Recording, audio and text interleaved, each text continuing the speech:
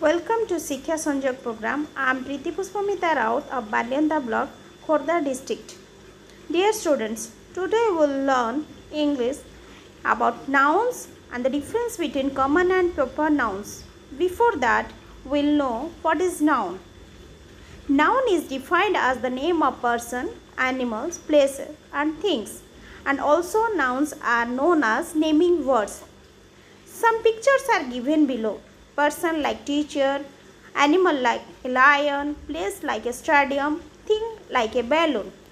Some more examples are given and it is classified accordingly. Persons like girl, boy, mom, dad, grandma and grandpa. Place like school, home, playground, zoo. Animal like dog, bee, cow, frog, lizard.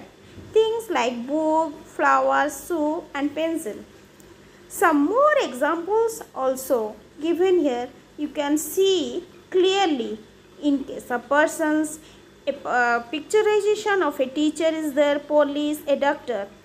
In case of place a school is there police station. And in case of things fruit candy kite morphine, cup pencil it has been given.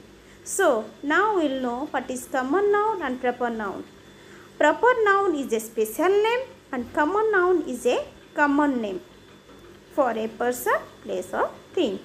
So, now we will know that a proper noun is name of a particular person, place or thing and is always begins with a capital letter. So, it is specific capitalized.